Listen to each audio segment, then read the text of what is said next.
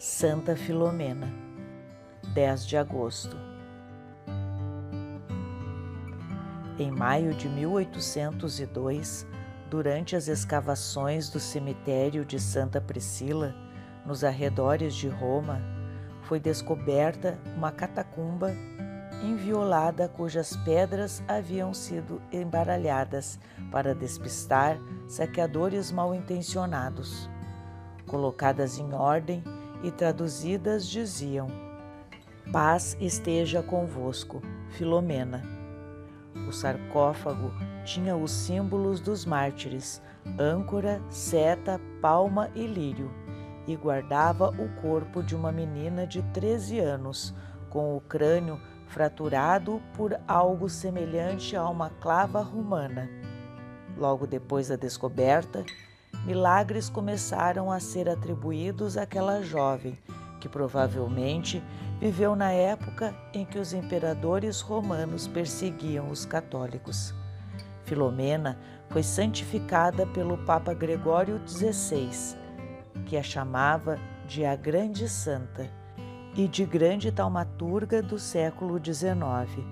Muitos milagres ligados a curas impossíveis foram atribuídos a ela.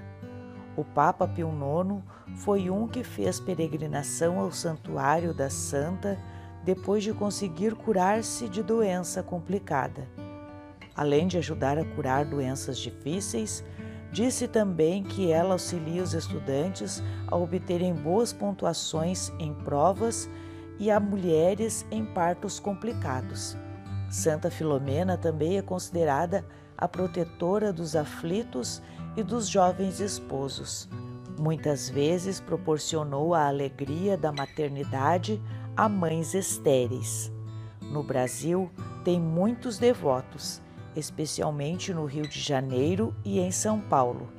Na capital paulista, há visitas constantes de agradecimento a duas imagens da santa, na igreja de São Cristóvão, no centro da cidade, e na igreja de São José, no bairro de Santana.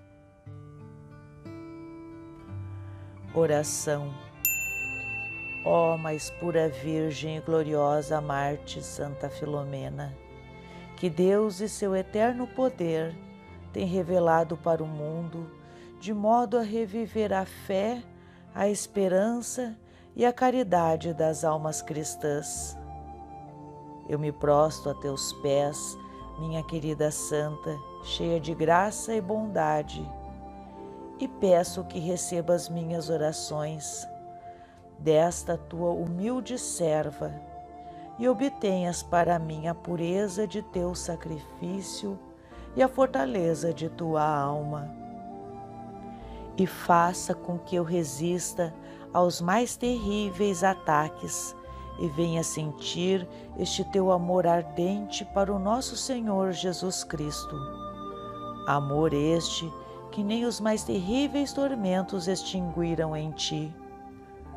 Assim espero que, seguindo este exemplo santo e imitando tua vida, eu possa um dia estar contigo no paraíso.